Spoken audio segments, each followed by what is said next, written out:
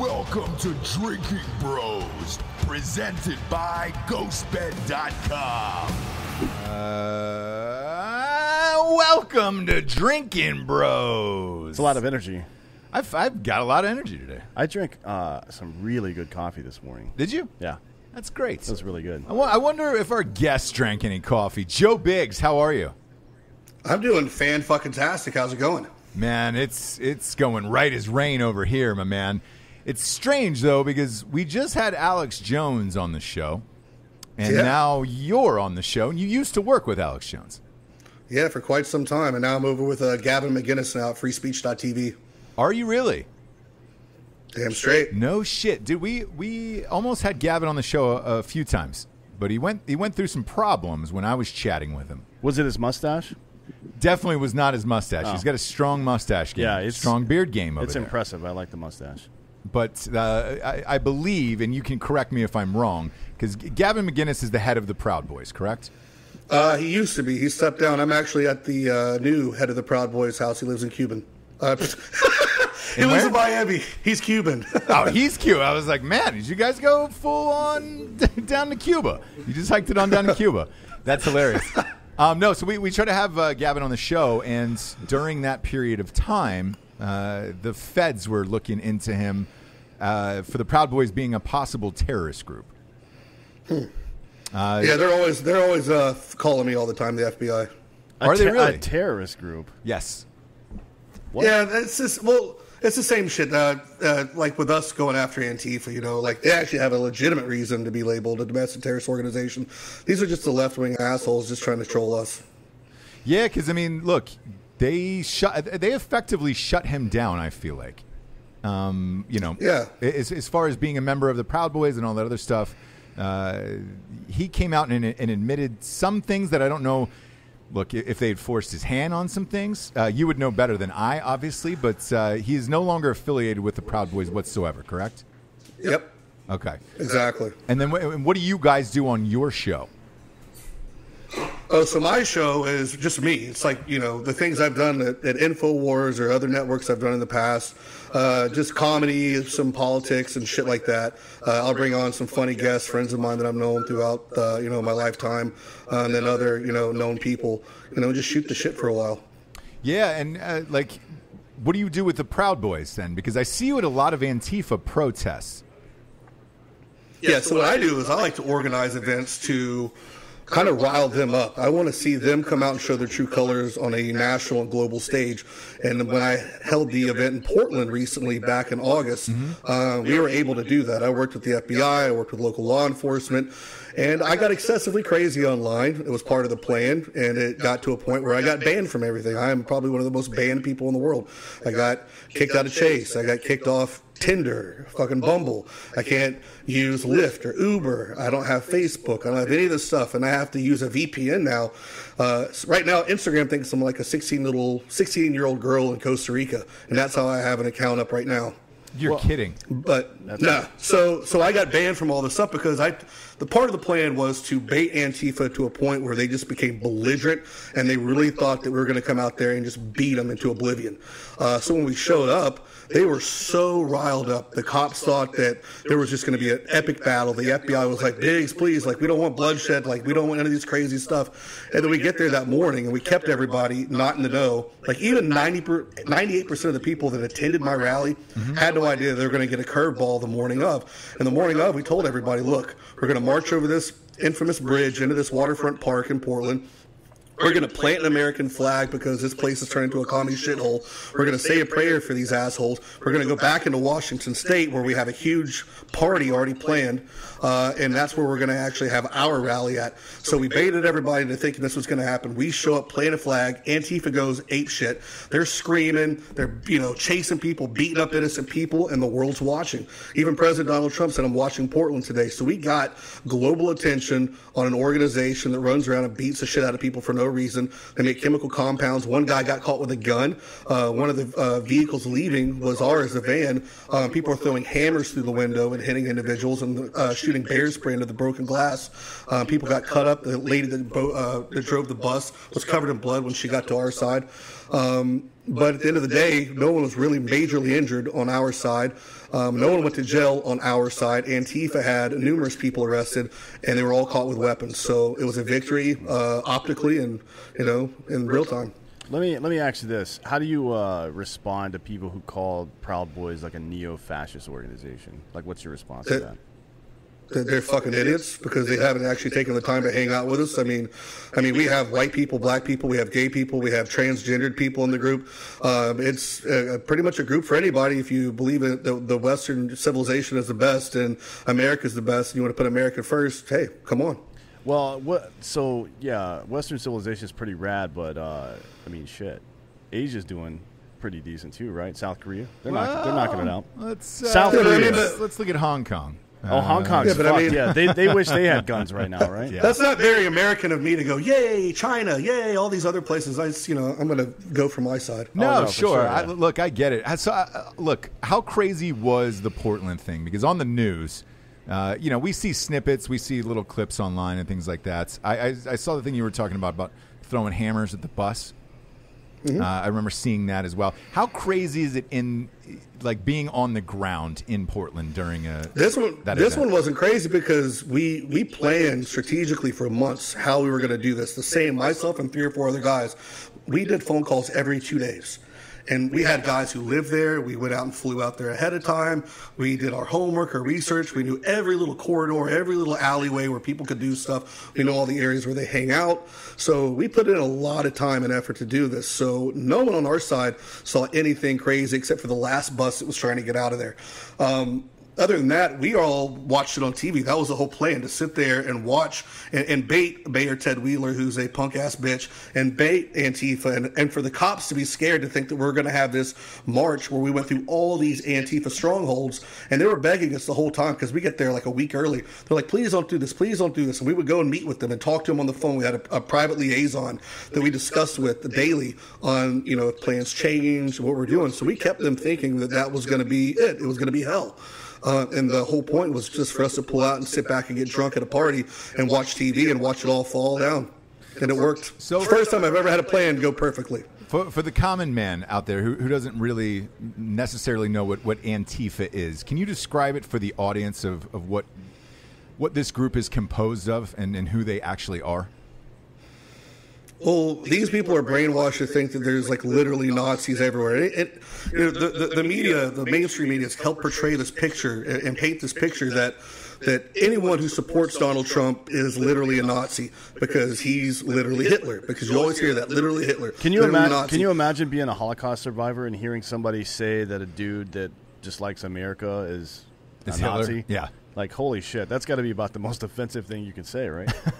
Yeah, I one mean, would if you're if you're if you're patriotic, you know, and, and you love your country and you want to be an American nationalist, which is just saying, hey, I believe in this country. I think we should put our issues first. We should take care of our people. We should secure our borders, our language, our culture.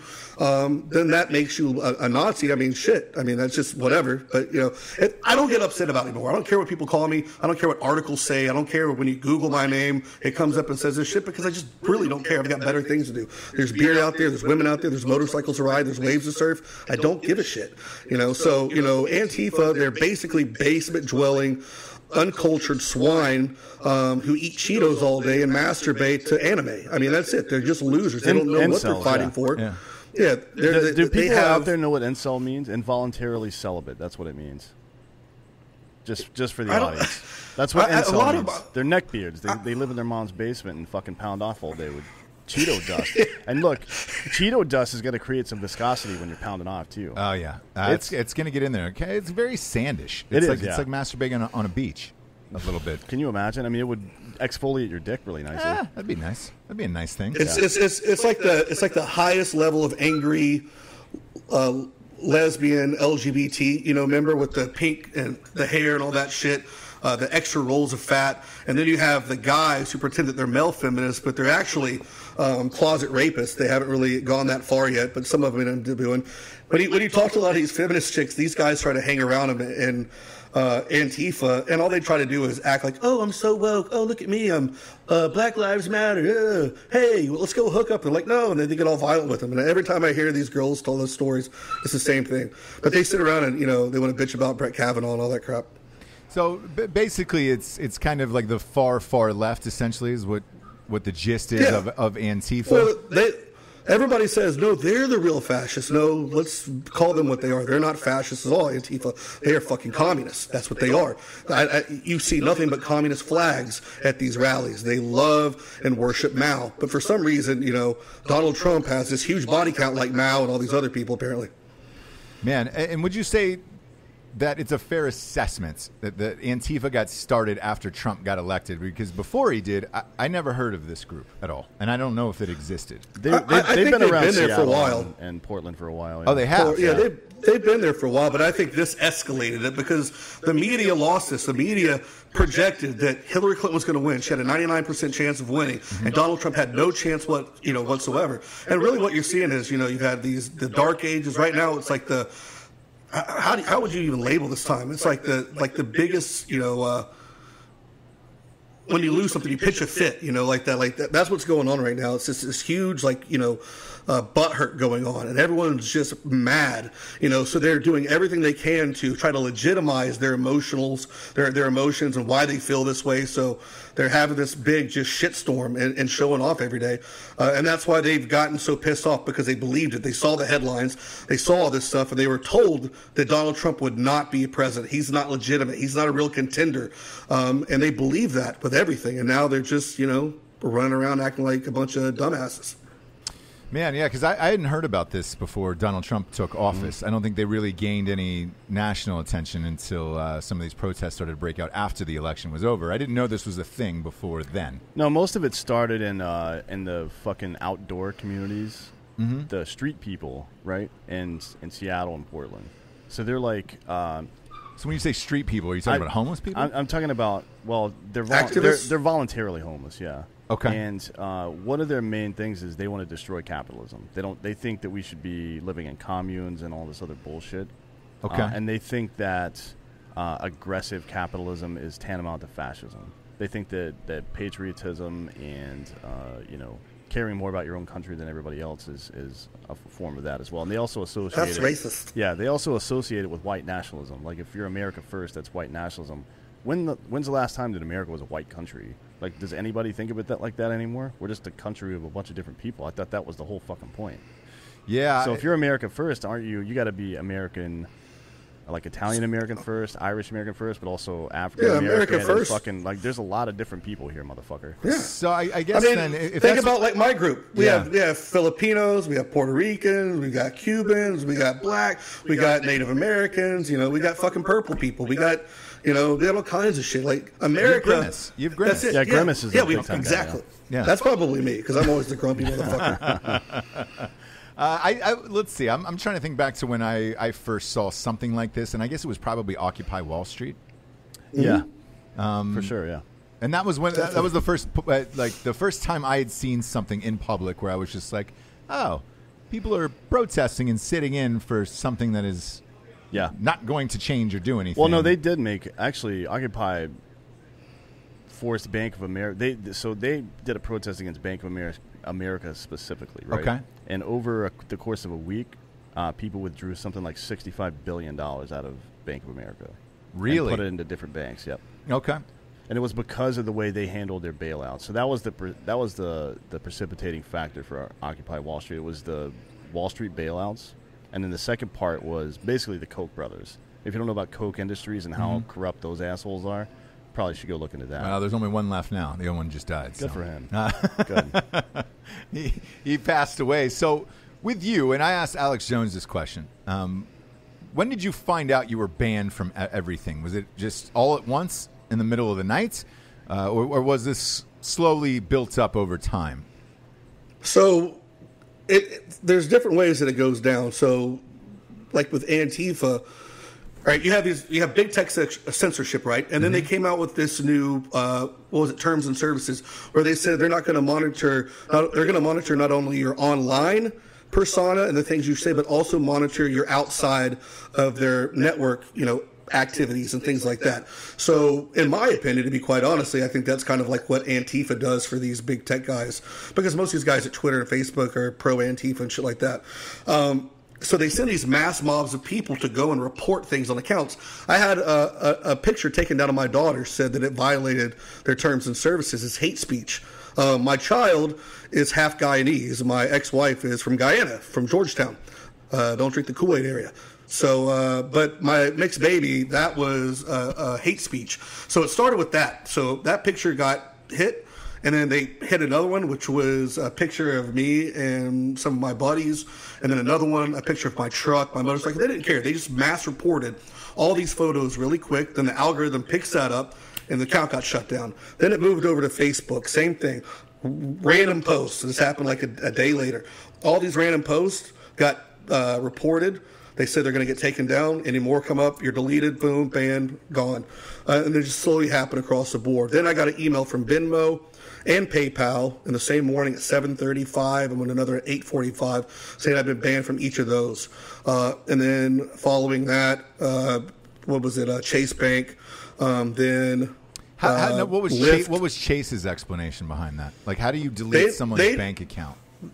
they locked it. Uh, they told me I could go to a local, like brick and mortar, you know, spot Mm-hmm. and go withdraw my money, and that was it. And I went and did it. Wow. And, and, and, And, but and but I also when you walk in also, though and talk to the branch manager, what do you what do you say then? Hey man, I got this She email. Yeah, she said that she doesn't have access because it's too high. So they actually had to give me the Chase Executive Bank number, which is their main headquarters. And for two or three days, I just went on like this. You know, I don't, I don't ever like playing the vet card because I think it's a piece of shit move. But I did it just to kind of troll him and fuck with him. Uh, and I made him feel super bad. It's like, you know, I fought for this fucking country. You guys are fucking pieces of shit. Chase Bank hates veterans. And then I got other media to kind of push that to help it out. So Chase actually does come back and go, we'll give you your bank. And I told him to go fuck off. And I went somewhere else. Man, that's that's crazy. Uh, so, so where can people find you now then? Like, what, what do you do when you're banned from all these platforms? Where do you go? Well, it costs a lot of money I bet. at this point because I have to uh, pay for all these different subscriptions, like these VPN things and all that, to hide my IP on my phone, my computers, my internet at the house. I've got to hide all this shit because I constantly have people looking for me too. You know, you got a bunch of those psychotic left nut jobs out there, which I kind of wish they would knock on my door. I think that would be amazing. Like my house is like a Gitmo torture chamber. You got know? expressvpn.com forward slash drinking bros by any chance? Yeah, That's one of our out. sponsors. Hey, maybe I can go to them now. Yeah, you can sign up for the entire year, get three months for free. It's only seven bucks a month at expressvpn.com forward slash drinking bros. It's one of our sponsors, segue. obviously. Ah, you're welcome for that. Uh, as soon as you brought it up, I was like, eh, might as well throw it in. We're here. We're partying today. Um, yeah, so I've done that. I've set up all these things, and now I have uh, Facebook. You just can't get around. I don't know how Facebook has gotten so good at detecting me. Like I literally made all this thing. I used Proton Mail. I created this new web, uh, you know, email address and shit. I, I got a fucking a flip phone thing, one of those burner phones. Did all this shit. I was like, all right, I'm going to get Facebook. And then they go, as soon as I do it, they somehow find out that I'm attached to this. Then they ask immediately for my phone number. So I give them the new flip phone phone number. Then they somehow figured out that it's attached to me, or somehow they go, Well, we're locking your account due to some suspicious activity. We need to see you take a picture right now in real time. So I take a picture of my roommate. They go, Nope, that's not the right picture. Let's get a picture of your photo ID, your driver's license. Really? So there's, there's, there's no way around it. But Instagram, I was able to get. It was it took some time. So I do have an Instagram. It's a n t i c o m three anti-com, anti-communist, uh, and the number three. Um, uh, well, I guess I just kind of gave that over a launch yeah, podcast. yeah. I mean, That'll probably be gone. you also Fuck just gave cares? it out to 6.1 million, so sure that'll be Well, gone. hey, make sure you guys all hours. follow me. Yeah, yeah, yeah, right? And then you can go to freespeech.tv. It's me, Gavin McInnes, Milo, that little uh, that Soph chick. She's like 16 years old or something. Yeah, yeah, yeah. That does all those videos. She got her YouTube channel taken down. We've got some other big names uh, coming aboard.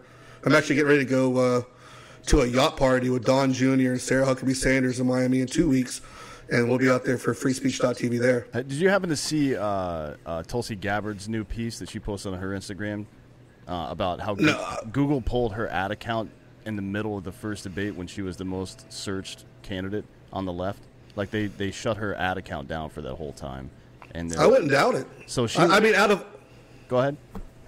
No, out, out, out of all of them on the left, she's the one that makes the most sense on some things. Yeah. You know, like the most like tolerable. Like I don't agree with a lot of the stuff that she says, but she's at least the the one that seems concerned about America in general, like left and right, not just so biased on one side. Yeah, no, she's uh, you know, look, you're never going to agree with anybody on everything, No. but uh, she's she's the only person that has any fucking sense over there. Obviously, of course, she's a fucking military veteran um, that actually did shit. Not like Buttigieg. I don't know what he did. He was like an intel guy.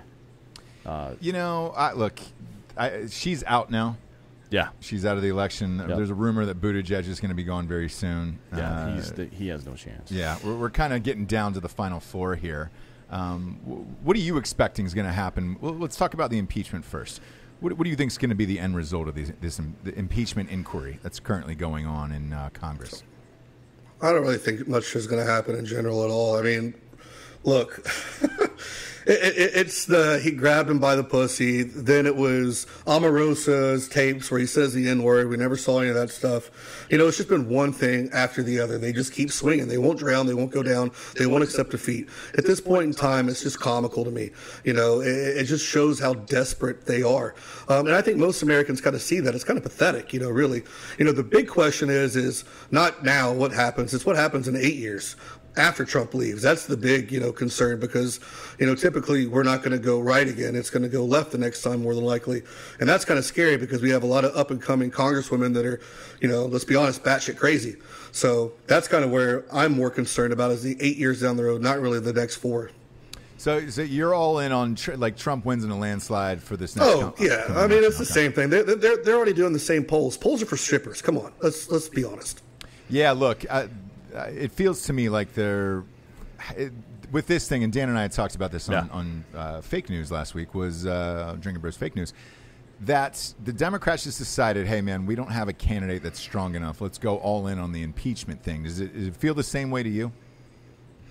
Yeah, I mean they don't have anybody at all. No one's like really likable. I mean, you know, you've already got someone who's, you know, one six or what is it, one one thousandth, you know, fucking Indian lied about it, uh, and then some people are still willing to go for it. You know, there's this world's insane. I mean, we've got a white lady who claims she's black, and people are just now accepting it.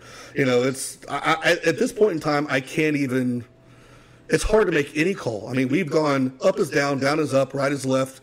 You know, blue is green with this left side. I mean, it's just I, I, it's hard to make any kind of like actual rational, um, you know, call on anything because there's nothing really rational happening anymore.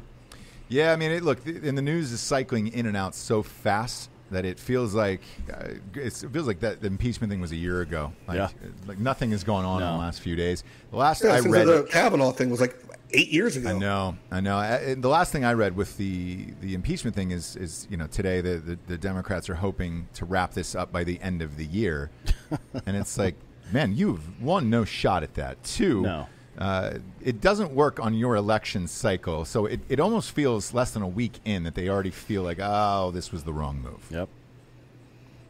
Well, it's funny because Biden, they're like, well, when Biden comes out, he goes, "I've got a real plan on how to fix the country." Where the fuck you been the last fifty years, dude? what have you been in politics? Like, why didn't you? Why didn't you implement that thing a long time That ago, dude's buddy? never had a real job in his fucking life. Yeah, well, he was never president either, and well, look, we'll see what. Thank God. We'll see. Yeah, we'll see. We'll see what shakes out. Who do you think gets the nomination out of that side? It's still going to either be him or probably Warren. But I, I, at the end of the day, you know, we've kind of seen that they don't really have no plan. They have no direction for anything. At least Trump is saying things like he's got a plan for stuff and he's done some stuff, you know. So, I mean, that gives him a boost there. And plus, he's just way more likable. Like, uh, look at those cringe ass videos that Elizabeth Warren makes where she's trying to, like, ooh, look at me. I'm drinking a beer. And she looks at her husband, you want a beer? And he's like, no, bitch.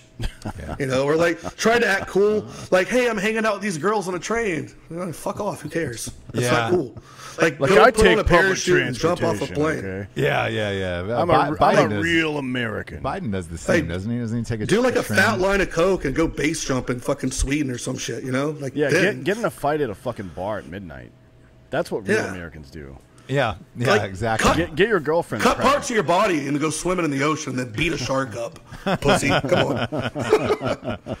Uh, all right, I'm gonna, I'm gonna fire some questions at you here. Uh, you can tell me if this is true or false, right? Because you kind of made headlines right around the Ferguson time, right? Um, Yeah. uh, that was that was kind of the first time that Joe Biggs kind of blew up uh, in, in the in the United States, I would say, right?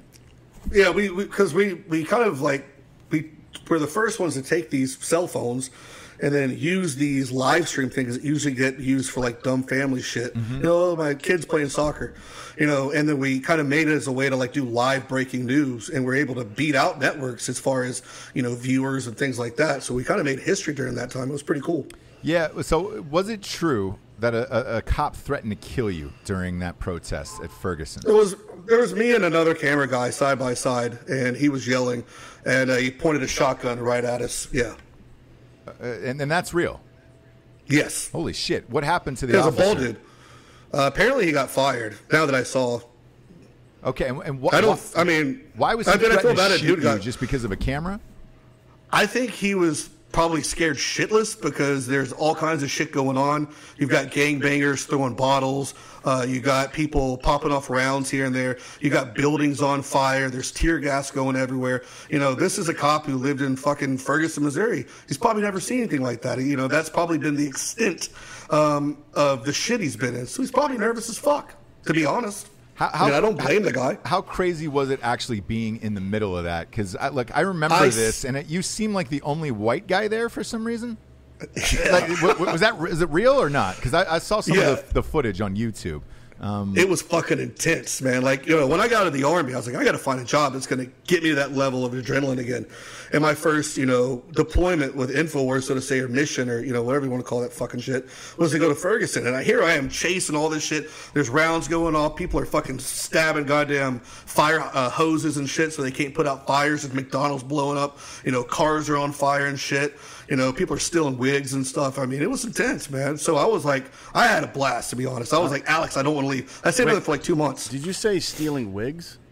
Yeah, you know, like they, they break into the cricket store and sell the, the, the phones, and the next door they go to the wig store and they where you see dudes running out with like handfuls of goddamn wigs running down the street. Those things are expensive, I guess. yeah, what, what's a dude gonna do with those wigs? Well, you know what he's going to Sell them to some lady, do. He's or get or become a lady. There's a corner wig salesman. Is that what you're saying? hey, He's wearing a fucking trench coat. He opens it up hey, in his hey, wigs. he's looking at the market right now. He's looking at the market right now. There's no wigs in that wig store. Now he's got the wigs. He's a salesman. Capitalism. Hey, man, he who has the wigs controls the, the, the town. I guess. Is that is that how it goes? no, I think. Uh, I think it's I, think it's gingham fabric and rock candy as well. Those three things. yeah, I I think um, the Queen of England said that. Yeah, she did. The. Queen of England said that. She did. Um, so what, what happened to you as, as a like as a white dude in the streets? I, I had to uh, like I would have to imagine that people threaten to kill you personally for being white. Sometimes, sometimes, yeah. I mean, sometimes you get some people, hey, boy, boy, what are you doing over here? Stop looking at me. Go over there. And people throw rocks every now and then. Uh, outside of that, I mean, I literally had such an adrenaline high, I didn't give a shit. I probably could have got stabbed and shot and would have giggled. Like, to me, it was fun. I'm, but I'm pretty fucking retarded, anyways, like that. Like, you know, you start shooting shit off or whatever and things are going crazy. That's kind of when I'm the happiest. It's like eating acid and mushrooms and doing a shit ton of coke. Like, I'm right in a good spot. Yeah, you. Not that I've ever done that before. I, Me I, either. I read about it on YouTube. No, of Yeah. course, of course. Uh, there's a reason you and Dan are really good friends. Uh, let me ask you about this. Uh, b- before your Facebook got taken down on August 6th, uh, was it true that that you told people that your house was protected like a Gitmo torture chamber? Fuck yeah. He said he said that earlier on the show today. Did, did you Yeah. miss that? Yeah. Yeah, yeah. Well, I say, yeah, my house. So I actually called a bunch of my veteran buddies, and I, I had people doing patrols and drive-bys when I was gone because I saw on uh, internet, um, on Twitter, I'd already been banned by Twitter then, and then an FBI guy contacted me and sent me something. Uh, but it was a screenshot, and it was like, oh, yeah, that's right. Joe Biggs won't be in his house on August 17th. He'll be in Portland. It's a great time to go burn that motherfucker down. Well, I just bought this house, paid cash, and I'm not going to let someone burn down my fucking kid's house. So I had that shit set up. It was like an adult Home Alone, you know, thing. I had fucking trap set up. I had vests everywhere for my buddies, guns, ammo, and shit. It was awesome, you know, uh, a table for waterboarding if need be. And I told him, I put in there, I was like, keep him alive until I get back. And that's when the fun will start. So it made it, it, it made it in some magazine, like the five facts of Biggs on some shit. What was that? Yeah, did you? Enrique, heavy. Is it heavy? Yeah. Oh, heavy.com? Uh, yeah, I know that Yeah. site. Um, so, so what did they dox you and they posted your address? Well, they said that they knew where I lived. Okay. And then I then I quickly believe the the day before I left, I realized that was horseshit. And I know that because I get a call from my mom and she's going, Why is the FBI looking for you? And I was like, "Ah, don't worry about it. She goes, Joe, the FBI doesn't come by unless they're you know, there's something going on. I said, Mom, I said, if the FBI was looking for me, I would already be in FBI custody. Uh, but apparently they couldn't find my house because I did my job and I hit the uh, address very Well, well. they're So then I required. felt a little bit better. If they find what they believe is a credible threat towards your property or person, they're required to notify you. Even if it's Yes. classified and part of an ongoing investigation, they have to let you know. really? I didn't know so that. they yeah so they uh, so they they ended up finding me through the people we sold my mom's house to um, so the the new uh, family living there which is a, a heart surgeon and their little family have the FBI come you know knock on their door and ask them where Joe Biggs is and they find out that's the previous owner. Then they call my mom and then I'm just now getting into Orlando with uh, the president of the Proud Boys Enrique Tarrio and we're about to fly out and this FBI guy from Jacksonville goes, "Hey, uh, Joe Biggs." Go, yeah. He goes, "Yeah, we're looking for you. Where you at?" I goes, "I'm at the airport. I'm to go to Portland." He goes, "Oh, cool." He goes, "Do you mind if we send someone to the airport from Portland to to talk to you?" And I go, "Yeah, sure." And I go, "You guys worried about anything I posted?" Because I was saying some pretty fucked up shit. Like I was posting memes like "Death to Antifa," and I have a shirt that says "Kill Antifa," or was it "Death to Antifa"? Yes, "Death to Antifa." I'm just fucking around. It's a damn T-shirt, you know. Take a joke. Um, but you know, some people thought that I was doing legitimate threats, and the FBI goes, "Yeah, we're not worried about you." It's like there's actual legitimate threats against you. Um, so when we got to the airport and landed, this guy comes up to me. He's like in a you know, like a nerdy suit type thing. These two guys, and he comes over to put his hand out, and I thought he wanted to take a picture because he knew the fuck I was, and then he throws out the FBI badge. And uh, takes us through the airport and into a secret little Homeland Security building off of the back through all these doors, and we had to have a meeting for like 45 minutes. Well, and what was the? What did they say in that meeting? What happened? They wanted to know what our intentions were. They wanted to make sure that we weren't coming down and bringing an army of people and having a bloodbath. Um, you know, that we weren't going to go around, you know, with baseball bats and guns and start beating the shit out of these guys. And I was like, look, I can tell you, like, we're trolling these people. Yeah, I don't like them.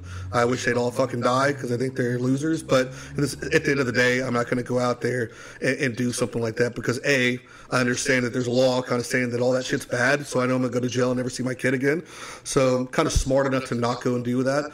But I do want to get them pissed off enough to where they act like idiots and they go to jail. And it worked out. So all of this is for just a, like a an, a troll. The entire thing. Well, I mean, it, but it's a troll, but it's also an effective troll. It's a Jedi mind trick. It's a psyop. We're fucking with them. Yeah, I'm smarter than them, and I can get them to do things, and then they, in essence, get thrown in jail. And that and what's your overall goal with all of this? To to end Antifa altogether, or just to Well- expose them on a national level of, of what's going on in these cities during these protests? Well, we need anti-masking laws um, in areas where that is going on. You don't have an Antifa presence. Um, these individuals put these masks on so they can cover their faces, so they can evade uh, prosecution and arrest and things like that. So, you know, my hope is that as we continue to do these uh, in domestic terrorism uh, events around the country, and we will, um, that it wakes up some of these mayors where Antifa is very prevalent, like uh, Mayor Marty Walsh in Boston, who we're coming for next, uh, Ted Wheeler in Portland, um, and then Philadelphia, where you know we, there's a large stronghold. We are going to continue to do this until they do this shit, or more of these guys get locked up, and some of these kids go, "I don't want to be a part of that. I want to go to jail. I have a life to live." So speaking of Boston, were you at the Straight Pride Parade? Because I heard that was a Proud Boys event. Uh, nope. Uh, this was an, an event from other people. Nothing so it- that wasn't the Proud Boys. No, I, and me and Enrique, who's over here right now, the president of the Proud Boys, him and I were the cover of uh, Yahoo that day and other places. Yeah, yeah, yeah, Saying yeah. that we were saying that we were in uh, uh, Boston that day for this event. I was like, I'm in fucking Daytona Beach right now at a biker bar getting shit housed. So that, that to, for, to set the record straight, that had nothing to do with the Proud Boys, the Straight Pride Parade. That didn't have anything to do with the Proud Boys, was it? That a Boston thing? Uh, yeah, we had a couple of guys over there. Well, there was a, yeah, but we didn't put that event on. didn't put that. Okay, yeah, we didn't put the event on, but there were a couple guys that were there. Okay, cool. Because that, that's the way it was painted in the media. Here's here's what I notice. Uh, Fake news. Like Yeah. s- straight pride is a troll. Yeah. It's Yeah. a troll. The the Pinochet shirt that the Proud Boys made back in the day, it's Mm-hmm. a troll. It's making fun of the Che Guevara shirt. Che Guevara was a piece of shit. He like murdered the fuck out of people all over the place, and lefties run around with that shirt on all the time, like, "Oh, I'm fucking woke, bro." Yeah. And they made a Pinochet shirt to make fun of that, and they're like, "Oh, they're fuck. They they want to kill lefties." Like, no, they don't, dude. It's fucking they're trolling people. You stupid fuck.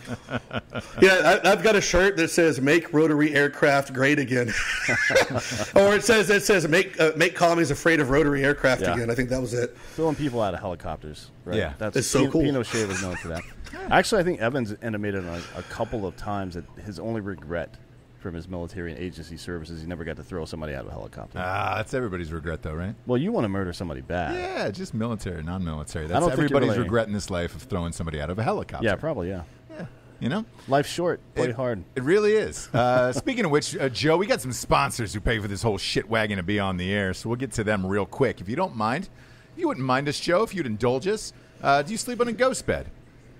Um, no, never, uh, never done it. Finest mattress in the land. Ghostbed.com forward slash drinking bros is where you can get the best mattress on the planet, and they've got they've got amazing pillows as well. Those ghost So it's pillows, better than a cot. Oh, way better than a cot, my man. Yeah. this is this is the, the the new world.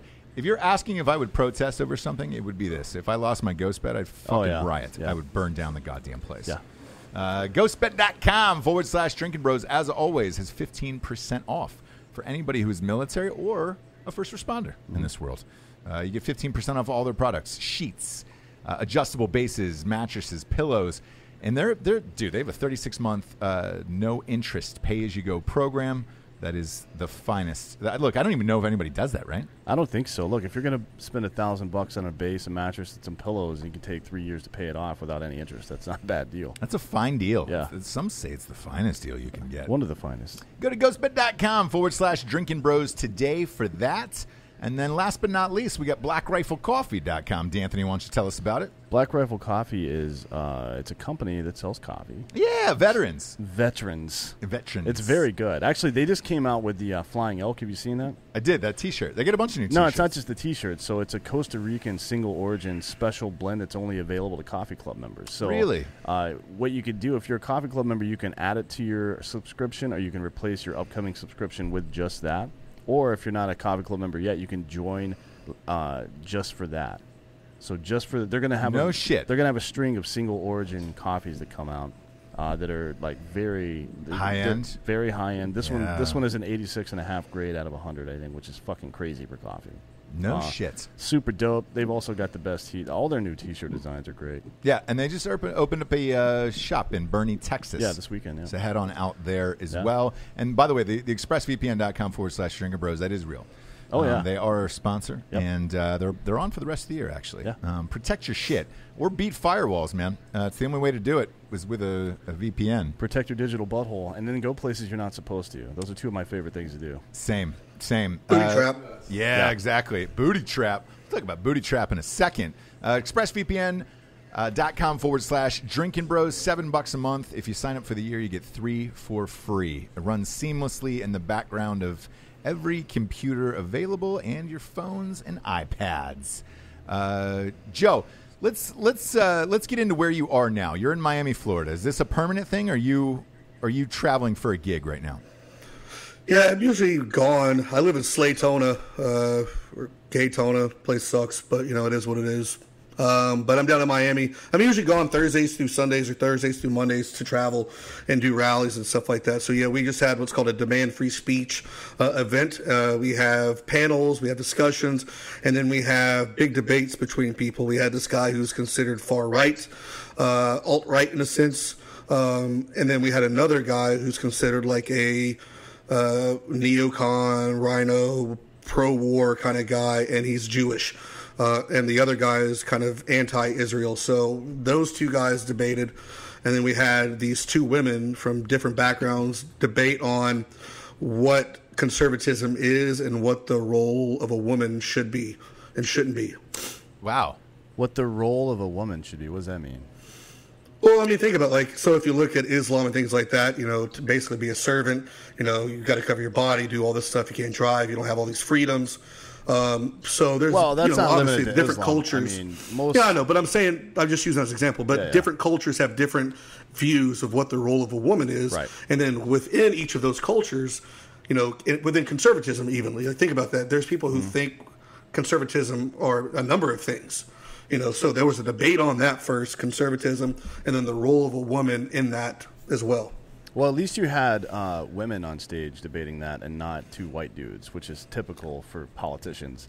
You'll Well, see- actually, you'll- you'll they like, identified as women. They were both Ted and uh, you know, you know, someone else, but they just had wigs on. I'm just playing. I'm sorry. Say again. Yeah, we're gonna, I'm gonna gonna stop you right there. You wanna? That, that's the second wig comment you've made. Yeah, he's really uh, into this wigs. Show. Uh, no, I think that's funny. It's it's it always boils down to culture and not religion, for the most part. Yeah. Like if you read the the fucking Bible, it says the same shit about women obey your husbands and all that horse shit. Okay. But you know, Western people don't put up with that. They're like, no, get fucked. I'm gonna do what I want, Yeah. motherfucker. Yeah. I'm gonna go suck dicks and do cocaine. You can't stop me. Uh, it's white girl wasted summer, whatever the fuck. And now- Yeah, hot girl summer. Hot girl summer. Now it's now Sad it's- boy fall. Sad boy fall. Yeah. So, uh, but it's the cultural stuff. Like the, I don't think American Muslims really do much of that. Well, the ones that are fobs, fresh off the boat, do. Okay. But I have a lot of friends that are from Muslim families, and they're just like, I don't give a shit about any of this anymore. It's like Jews, like Israeli Jews. They don't give a fuck about religion anymore. They're just like, Well, yeah, I we're, mean, we're, we're about it. I mean- before we're Jews, right? And there's people who say they're Christian, but I mean they're out there, you know, doing scandals, fucked up shit all day. And then there's Christians who actually, you know, sit at home and you know, you know, watch fucking Friends all day. You know. Yeah. Which uh, look, there's nothing wrong with that. No, There's that's nothing nothing, more Christian. Strong there's Rachel. Nothing more Christian than Yeah. watching a good sitcom. That's a very Ross thing to do. Baking it. baking Pivot. cakes and shit like that, and making like homemade frostings, and then just watching the friends and everything's. They're all giggling, you know, and making love like missionary. They don't do anal. No, I, I'm, Well- in, I'm into anal, so Yeah. Everybody is. gonna gonna pass on that one. Everybody is. Let's get into the Proud Boys here. Uh, why don't you tell us what's true and what's not true about the Proud Boys? Because I've I heard. will do my best. If I have to, I'll revert to the president. yeah. Uh, is he sitting across from you? Yeah. That's funny. Um, do you do you guys hate Muslims? That's first and foremost. Uh, no, I don't hate anybody. I disagree with them. Okay, so you, you disagree with Muslim, but that's not mandatory to get into the to be a member of the Proud Boys. Okay. No. Uh, you refuse to masturbate. I, I Um, know Joe. He doesn't refuse to masturbate. He's probably Yeah, got. Well, let me see both your hands right now. Uh, they're pretty funked up. No, I was just just making sure it wasn't one wasn't under the table as we're speaking. Is that is that real? Because you kind of paused on that. You guys refuse to masturbate. Well, yeah, yeah, that's one of their things. Yeah, Oh, it is. yeah. It is one of those things. So, Yeah. as a Proud Boy member, you don't masturbate. Uh, I'm I'm a rule breaker, so you know I gotta do my own thing. And, and, the, and the president of the Proud Boys is sitting across from you. What's his What's his theory on this? Uh, ask Ask him why why no masturbation. Hey, so, hey, hey, they want. Oh, that because all right. One of the things that they are against is they believe that that should be saved for you know with a woman. Like you shouldn't be doing all that shit because it'll affect you down the road. A lot of people who are chronic uh, do that. Have the uh, you know sometimes it affects them. Uh, when they're with a chick, I think that's one of the kind of the main reasons behind that is that you should be saving that for that, you know, to bust one in there to have a family. That's fucking Oh stupid. man, that's that, that's a lot. Because That's look, you're gonna you're- That's practice, That's brother. gonna be a two pump Johnny No Quiver, and that. Yeah, it. you don't Like, fucking uh, go to the gym and shoot hoops by yourself sometime before a game. Yeah, you, you got to practice before you play. You know what I'm saying? I, I'm, man, I pound off three times this morning. Yeah, I, that's that. That would be way out of I'm the never gonna for stop. me. Um, I mean, I, I don't, I don't want to go in there too loaded. You know what I'm saying? Like, you No, know, no, like that's that's uh, like, there's something about twins. Mary theology. right yeah, there, yeah. yeah. You, you've uh, you've got to you got to You got to crank one out. something, man, before you get going. There. Yeah. that's that's too much. It's it's too much. That's too much. Okay. Uh, is it mandatory that you have to be in a fight, a fist fight with another man, a stranger, to get into the Proud Boys? Um, it's more of like doing something that stands up for Western civilization. Like, I mean, it could, it could be like, uh, you know, a badass debate that's seen like on a video or like some kind of viral thing. Um, I mean, yeah, if you, if that happens, I mean, in you know. What is that? What's the actual rule in that? The yeah, whole you, you don't have to the, pick, the a, you don't have skirmish to fight fight with a stranger on the street or anything. What is it? You, you got to get into. They're asking like, do you have to get into a fight to be a proud boy? You have to get into a fist no, fight. No, that's our fourth degree. well, I mean, but what's the actual thing? So I can tell them, so I don't fuck it up because I'm stuck with rules. So, so your fourth degree is a hardship. So, it So a hardship. It could be a fight. Could be a fight. Like I got it because I went to Texas for five days during the hurricane. Oh yeah, so he did. It's a hardship. It's doing something for your country, for Western civilization. So he got his fourth degree basically by going to uh, Houston uh, to do relief work when Hurricane was it Andrew? No, no, not Andrew. What Andrew? What is it? Uh, Harvey. Harvey hit, and there was all the flooding. They Yeah, they went out. Yeah. They they went out and rented boats. They were doing uh, pulling people from homes, um, uh, uh, pulling security and things like that. So that's one of them. So it's kind of like uh, the one of the five pillars of Islam. Then, Yeah, I guess. So you guys hate him, but you stole that from him. That's oof. Come on now. Who said we hated him? We said we just don't. Uh, and and uh, I mean, look, it, I'm, I'm I'm reading off of what's online, obviously, because we've heard a lot about the Proud Boys. There's been a lot of press on the Proud Boys. Uh, you don't hate gay people, nah. okay? So, uh, is there any I mean- cur- current gay members of Proud Boys? Yeah. Oh, there is. Okay. Yeah. Um, and they can't masturbate as well, right? I don't know. It might be different for Well, them. if it can two gay dudes jerk each other off, because that would be that seems like a yeah, reasonable that seems compromise. like I a mean- I mean- reasonable thing. well, yeah. I mean, I, I mean, can they? Yeah. I mean, are they supposed to? I don't know. I mean, I mean, I'm sure they do. Are they supposed to? This, mean, I is, this is America. You can do whatever the fuck you want. Well, there you If you want to jerk off a gay dude in America, and eat a You taco. can do that. You can eat a taco While eating a with one hand. taco and then eat have that helmet with the beer thing in it, and you're drinking it. Yeah, so you can eat a taco, drink a beer, and jerk off two dudes at the same. Well, one dude. You only got one hand left. Yeah, I mean, look, if you're a gay guy and it's your date, right? Obviously, it's going to end in a jerk sesh. I hope so. Or, or, you know, a mutual masturbation thing where you look at each other and make eye contact and then Well, you I, go from there. To, I was just saying to. I think once another person's involved, that's Yeah. kind of different. To subvert the rule, though, you jerk each other off. Okay. All right. I, look, I'm, I'm trying to get the rules down. I want to know Yeah. what's going on here because there's a, there's a lot uh, online where you're just like, man, I don't know what's right and what's wrong. So we got one of the guys on here. Let's let's fucking ask him about it. Uh, you don't ha- you don't have to be just white. No. Okay. So you have ra- like everybody of all races inside Proud Boys. Yeah. And is there any is there any kind of uh, coordinated effort on your part to reach out to people of other races that are also pro West? Like, how does that work? Just out of curiosity. Uh, they, they reach out to us when they see videos of us knocking out Antifa, when they see videos of us getting Antifa thrown in jail, when they see videos of us out partying, when they read articles saying that uh, the the Proud Boys are uh, uh, you know throw sex parties with cocaine. I mean, the recruiting kind of does itself. I mean, we're pretty awesome. so you do that? You throw sex parties with cocaine? I mean, that's what the article says. I can't confirm or deny. Wow. So is that is that more of uh, kind So of a You're basically Miami University in the late '90s. yeah. so the sex party We're is that to get people in there? That's to get people in the group. Like you throw sex parties with coke. No, it's it's like it, the guy who wrote it. He just likes to try to. He always tries to make us look bad, and he he comes up with these like elaborate. His name's Will Sommer from the Daily Beast, and he'll write these like what he thinks are bad headlines, but really they sound fucking wicked awesome. Like who doesn't want to go to a sex party with cocaine? You know, so it's like we read these articles. We're like, oh, you got a hit piece. I was like, that's not a hit piece. That's going to help boost recruiting numbers. And sure enough, it's like boom, boom, boom, boom, boom. Hey, we want to join. What's it like? This is awesome. This sounds fun. Okay. Uh, Proud Boys started off as uh, as a joke using the song Yeah. "Proud of Your Boy" from Disney's Aladdin musical. Is that real? Yeah. It is. Look, have you Yes. you've listened to Gavin McInnes, right? He's a giant. I have. You, he's a giant troll. You see that guy right there? He's Yeah, yeah, a yeah. giant fucking troll. No, I, I understand, but for the audience, because again, you hear the term Proud Boys, you you hear that they've been labeled as terrorists. I think it would shock a lot of people to know that it was actually formed out of a joke uh, from a Disney Aladdin musical. Yeah, it's pretty funny. Yeah, it is. uh, you know how many times? You know how many times I get fucking like. Everybody knows this whole thing, right? They they're saying it was just ADL called it uh, a symbol of hate now, the OK sign. Oh, I mean, yeah. even Apple knows when you type in OK, the you know the letter O and the K, the first emoji that comes up, even from Apple's iPhone, is this. Yeah. Right. I mean, even they know, even they know that's what that fucking means. But it started on like 4chan as a troll to fuck around, like, oh, this is going to be our new, you know, inside. Like, if you flash this, you know, you're with us. You know, and, and I still get calls from reporters like, we've seen photos of you, Joe, in Portland and other places where you're flashing a symbol of hate.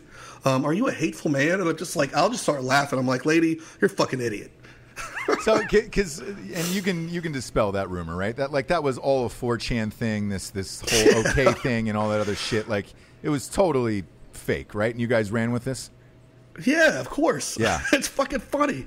Man, I mean, there's divers that do it. Like, I saw, I was at a fucking Vegas the other day, you know, and there's, if you go to the, what is it, MGM or whatever, they have the Shark Expo thing where all these little sharks are running around, and there was divers in there with them. They're doing this shit. Like, are they hateful people?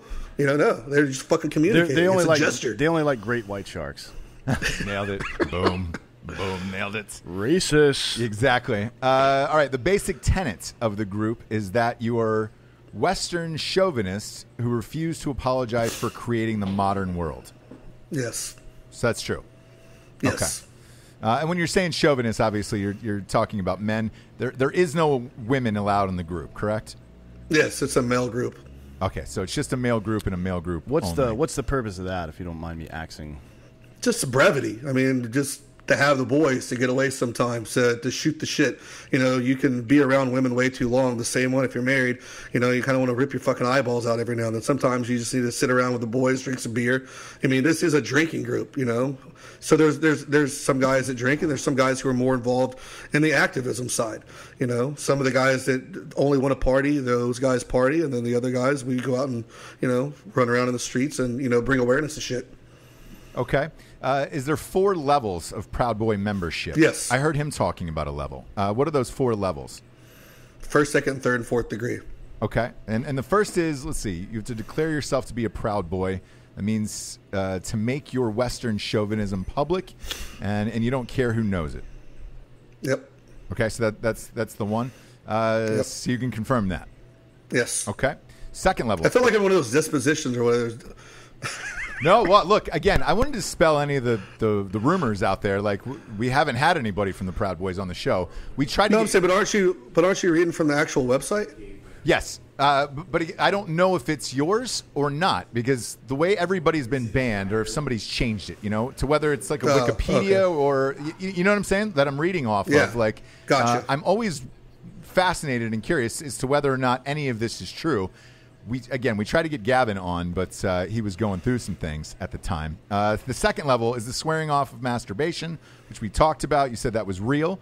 Um, what are the third and fourth levels? Because the the fourth level says it's it's the newest one. Um, explain that to me. So you've got, you know, I'm a proud boy. I'm not going to shame for creating the modern world.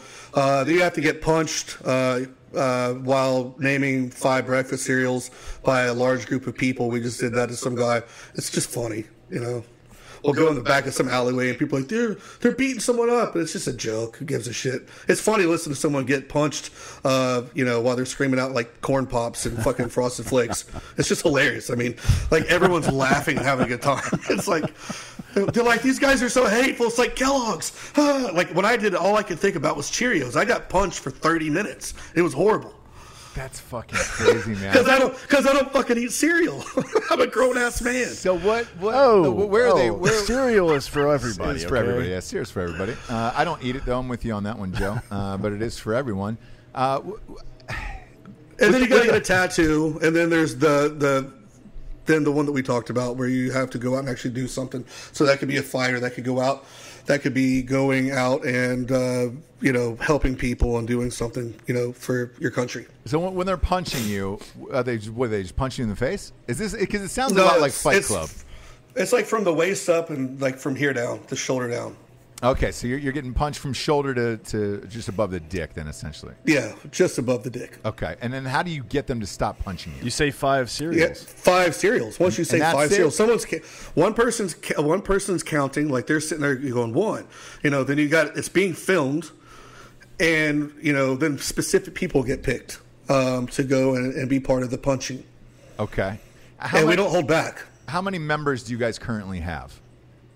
I don't know what, what are we up to in members? 17,000 worldwide. Huh? 17,000 worldwide. Seventeen thousand. Worldwide? Okay, 17,000 worldwide. And then uh, who funds you? How, how do you guys get funding for this? Uh, do fundraisers, do all kinds of shit. I mean, we sell T-shirts, you know, crap like that. Off your There's no like, yeah, we don't have like the Koch brothers or anything helping us out. Okay, yeah, because I didn't know like whether or not because I, I always figured, and Dan, you can tell me if, if if I'm wrong on this. I always figured Antifa was funded by somebody like a George Soros or somebody like that. I don't know if they're funded by anybody. If you look at the way they dress and smell, it doesn't I think- look like well, they have any money. I think they just they they all live on the street together and shit. I honestly, I honestly think that they do have some funding, but it's not in the level that you would think. There are people that show up to these events extremely structured. They have these very fancy signs and shit. Like ours, like look like homeless people signs. They're funny, but it's like on a shitty piece of cardboard. These guys have like really fancy, classy signs that if you were to go get them made, that costs quite a bit of money. So I do think there's some funding in that sense. And then you have a lot of people, big names that come in that draw crowds that, that say they support it. That makes um, other people want to get involved in local things. I don't really understand a lot of it, but I'm sure there's got to be a way of money come in because think about it, whenever they hold these events, they have a shit ton of people to show up, and there's a lot of people that come outside of the country. That's a lot of money on airfare, and there's a lot of events that were going on during the election that they were doing. I mean, you know, that amount, that amount of traveling all the time means you don't have a job, so that's got to essentially be your job, and that money's got to come somewhere. Yeah, because we had uh, Milo's bodyguard on, on the show the day after all that shit went down at Berkeley, uh, where he was about to. Yeah, I was there. Oh, you were. Yeah. Yeah. So Yep. he's he had said because he was uh, drinking, bro, and he had said that they'd they'd gotten a heads up a few days in advance of like, hey man, Antifa will be here. Shit's gonna get out of control. What do you want to do? Do you know in advance that they're going to be there and all this stuff before you guys attend these rallies? Yeah, of course. Just like they have people that have weaseled their way in to infiltrate, we do the same. I mean, you send people off, you find out kind of the areas because they. What was it at? When I lived in Austin, Texas, they would actually meet at a public library and discuss uh, uh, future events, um, rallies that they were going to do. Um, they would talk strategy and dealing with people like me, uh, how to deal with the cops, routes in and out, uh, the parking lots where they're going to go, parking lots where we go, how they go around and they're going to slash tires. So they're, they're, that's happening on both ends. That's pretty sophisticated, actually. I didn't think it was that that intense. You'd be surprised. It's a lot of work for nothing. Yeah, yeah. You don't really get anything. Yeah, in but return. but but when you're that brainwashed to think that there's literally Nazis attending this rally, um, yeah, you're going to do it if you really believe in something. These people are that passionate about a lie. You know, they're like I said, they're fucking But, but they, they want socialism. Why not just go to Venezuela? Uh, I mean, there's places you can go where socialism's already going yeah, on. that guy. it already because exists. that's why I said earlier, they're uncultured. They don't really understand. They they think they want something, but they don't know. It's like I said, there's not rafts. You know, people aren't like storming into Venezuela to go there. You know, those people are trying to get here. You know, like, hey man, we gotta fucking get out of America, go to Venezuela and eat rats. Like, no, it's not happening. You know, and they don't know that because they've never been. They don't see it. They think that's a lie.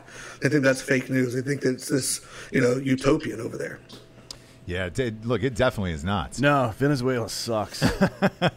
Yeah, I actually was going to for a while. Was thinking about sneaking in there with uh, my buddy Luke Rudkowski from We Are Change, uh, going to Bogota, Colombia, and then try to cross over. But I had a buddy down there doing some contract stuff, and he says if you even get close to the border at this point, they will fucking shoot you.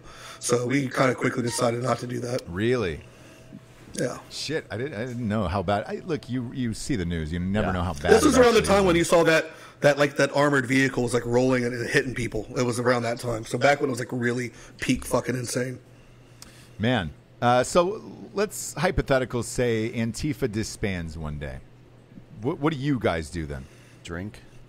Yeah, pretty much just drink and have parties where there's chicks and you know do or not do other fun things. And it's just kind of like a fraternity then.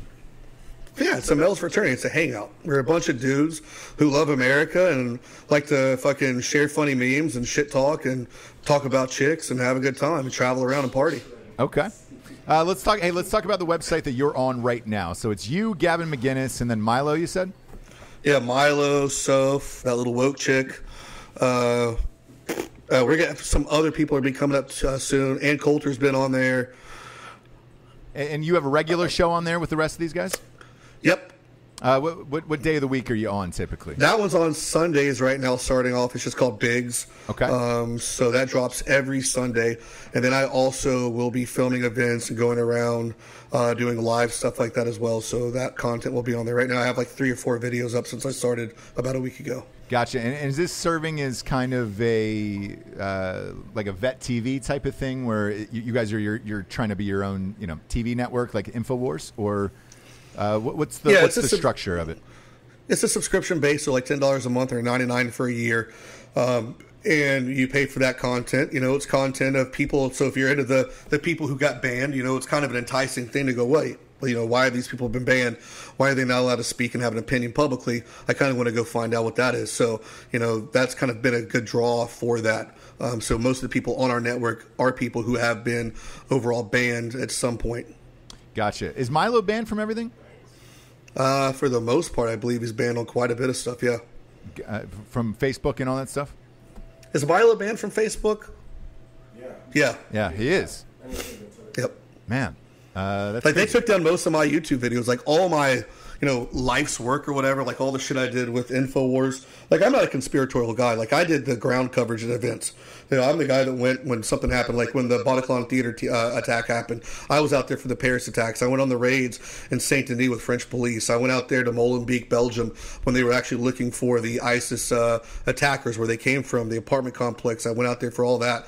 You know, so I did all that stuff, filmed it, had awesome videos, and then YouTube shut down that and stole all that from me. I'll never get it back, which is pretty fucked up.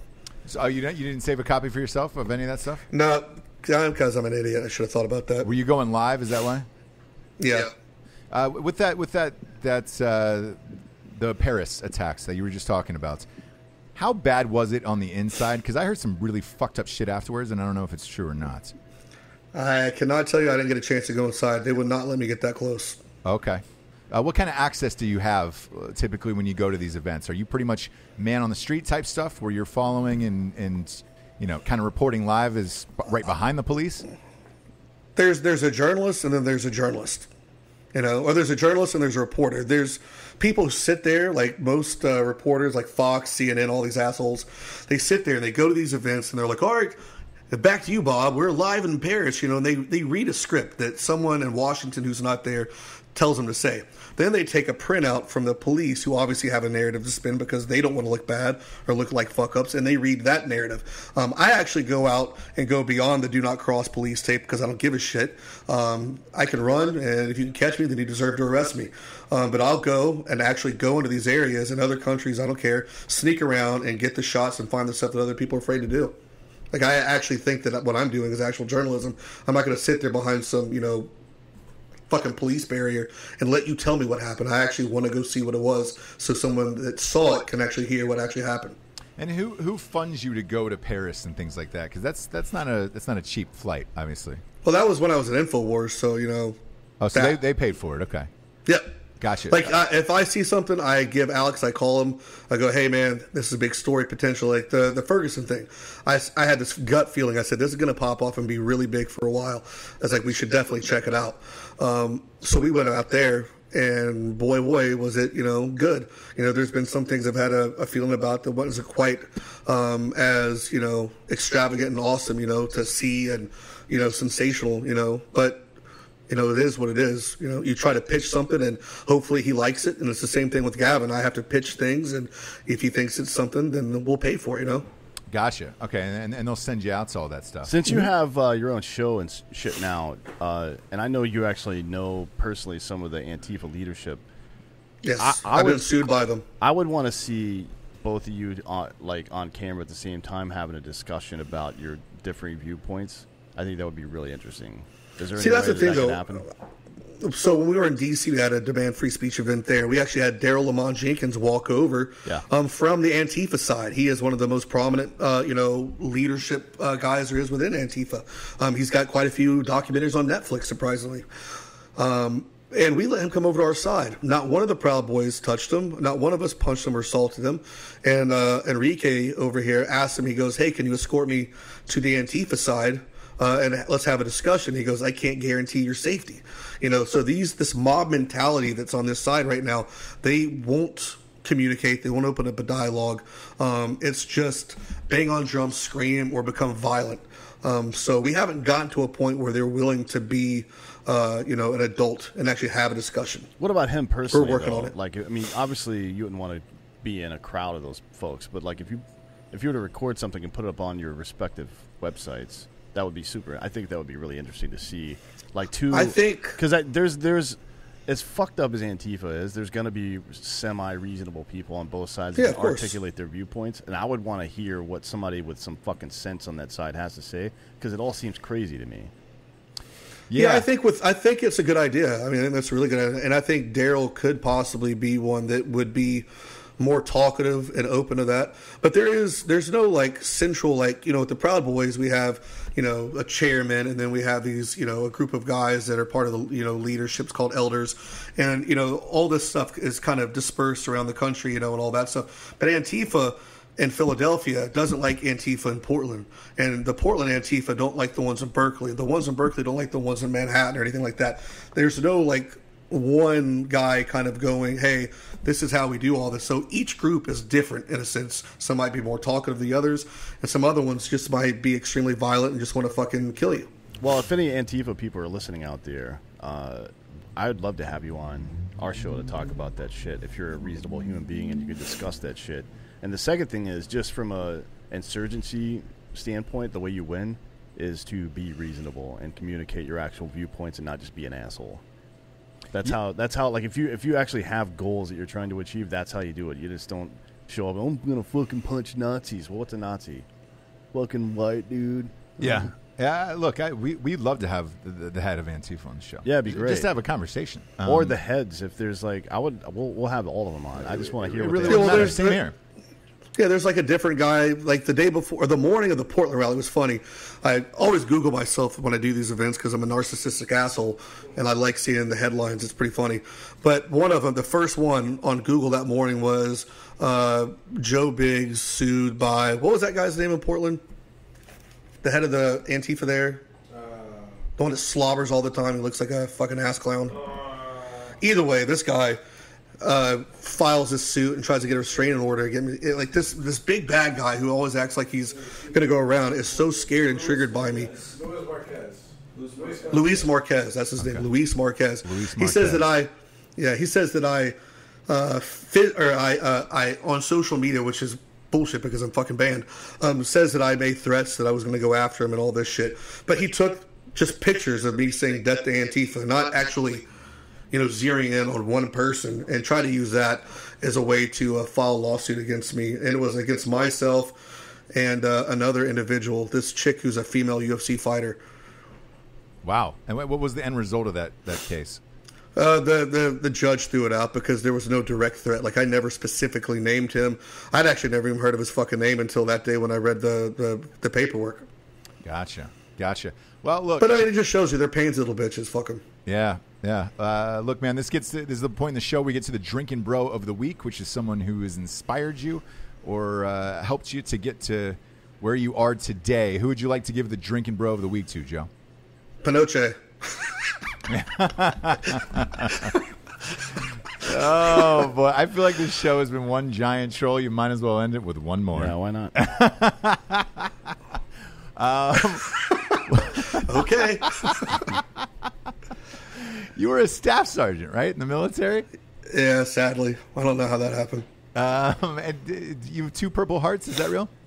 Yeah. You know, the funny thing is, one of the other things that's real. I never once did a board in my entire life. I never did a practice board. I never did a promotion board. None of that shit. The first time I got promoted to sergeant, I was in Afghanistan. My first sergeant came over to me after a convoy, and uh, this is when we had those, you know, the the Velcro. Velcro, yeah. He pulls off the the specialist and he goes, "Move on, sergeant." And I was like, "Oh shit." He goes, "Yeah, I already went." He's like, "I went for you. You're good." And then, you know, fucking down the road, same thing. I get fucking Penn staff sergeant, same thing. Came off of a mission when I was deployed and got that way. I thought that was kind of one of the funny things throughout my career that I never actually had to do that shit. Well, man, I, look, we appreciate you being on the show. We appreciate you just clearing up some things that are going on in, in the world, and especially with Proud Boys. All- All of this was super enlightening and fascinating. Um, the masturbation one, though, I don't think I can get behind. Nope. Nope. no. No, I'm Um, gonna. I'm actually gonna go jerk off eight times tonight because I, I'm gonna go. I'm gonna go get a girl to give me a hand job with her mouth. Yeah, do that. You are you still are you still married? No. You don't say. I'm kidding. Yeah, I just, I just, I, I think after two times, I just, I don't think I'm kind of right for that. No, no, definitely. But you not. never know. You know what? I'm down. I believe. I'm a strong believer in third time's a charm. So hey, It always is. still that that that's. Hey, ladies. Yeah, look, if Jarred Taylor was on the show, he'd tell you the same thing. oh uh, today. man, Yeah. Uh, well, hey, Joe, thanks for being on the show, man. Uh, where can everybody try to find you on, on some form of social media? freespeech.tv. You can go to Instagram. I'm Anticom, so A N T I C O M number three. And then Anticom18 on Twitter, which is a new one I was able to make the other day. And Google. Google my name. Don't believe it all, but fuck it. Some of it's funny. Yeah, man, that's why I was asking today because, it, again, even with the, the rules of the Proud Boys, like, you don't I honestly really know thought you were going to ask me some other shit. What's that? I was, I was like, I was like, I was like, you were like, I was looking into. I was like, oh fuck, man, because there's some bad shit out there, some really crazy shit on Google. I was like, please don't let it be some of those things. And luckily, it was all the good stuff, so we're good. try we, we try here. We try to do some research over here, just a little bit to, to remain legit. Uh, we appreciate your time today, man. Enjoy Miami. Fucking a, man. Thanks, guys. All right, take care. For D'Anthony D'Anthony Holloway, uh, Mr. Joe Biggs, I am Ross Patterson. This is the Drinking Bros. Good night, everyone.